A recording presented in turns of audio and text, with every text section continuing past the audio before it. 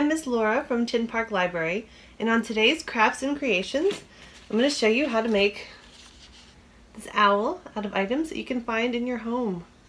For this project you're going to need a paper plate, one of these white generic paper plates and we need some scrap construction paper. You don't have to have a full sheet of anything for this. I have yellow and brown here. We'll need scissors, glue, and crayons or markers. Alright, let's begin. So I'm going to start by making the pattern on my owl's chest. So we're going to take the middle of the plate and we're going to use our different colored markers or crayons and we're going to draw a bunch of U's that are attached to each other and we're going to fill in the space in the middle of the plate just like that.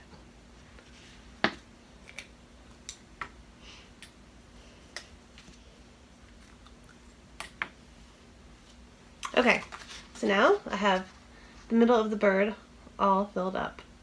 Next, we're going to use a little origami. We're going to fold down the wings and the face of the bird. So to fold down the wings, we're going to take the bird, we're going to start in the corner, and we're going to fold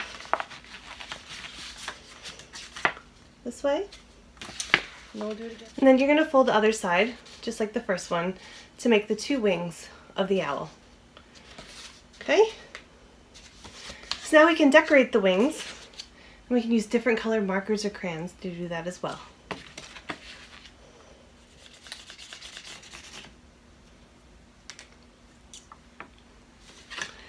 Once you've finished decorating the wings, we're going to take the top and fold it down to make the head. Just like this. So there's the owl body. To make the eyes, Going to cut two circles out of yellow paper or another color that you might want.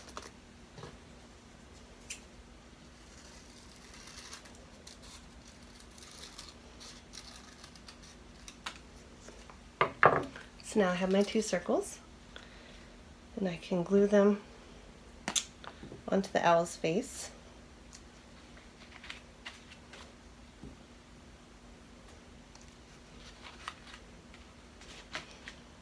We can put a little black dot in the middle for the pupils of the owl's eyes.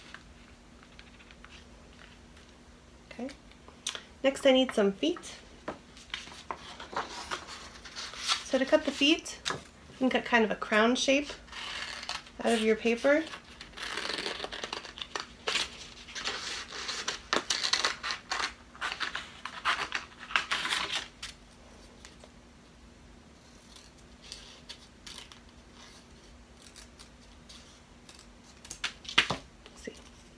Got my, look like crowns, I've got my owl feet.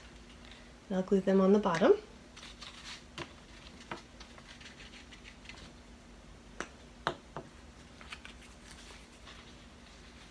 And then finally we need the owl's beak. And we can just cut another triangle out of the brown paper. Like this. And we're going to glue it on right up where the eyes are. So I'll glue on my beak.